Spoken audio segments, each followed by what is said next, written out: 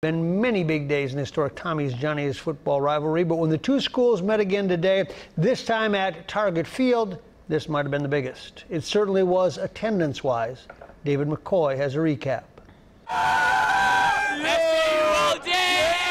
37,355 fans, the largest crowd in Division III football history, more than double the previous record.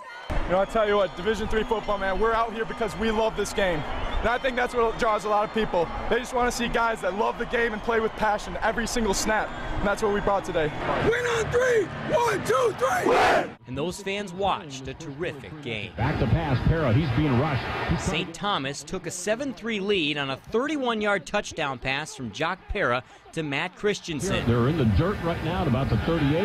No. Then they extended it to 14-3 when Perra went deep to Gabe Green for 61 yards. Perra with 230 passing yards and those two scores. St. John's cut into the deficit just before halftime. Jackson Erdmann going 31 yards to Jared Street.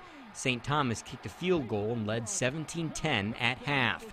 Dropping back to pass. After another Tommie's field goal, St. John's drew back within three as Erdmann went long to Evan Clark with six minutes to play. But St. Thomas held them off and won their fourth straight in the series for the first time since the 50s, 20 to 17. I'm happy we beat our rivals. I'm happy we won a conference game. I'm happy we won a target field and the biggest home game in the history of Division Three. Pretty awesome. So much work goes into it. You know, we got so many guys, so many pieces, so many struggles that we've all dealt with together.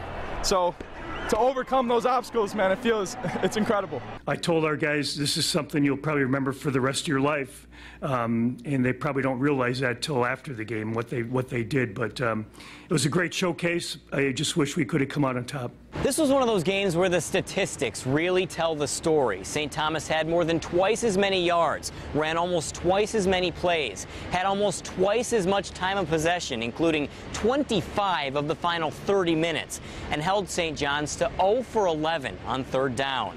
But it was this statistic, one rushing yard allowed on 20 carries, that impressed Coach Glenn Caruso the most. One yard rushing allowed is pretty tough to beat. Um, it is. I mean, that's one yard. It's like this. Um, that's not a lot.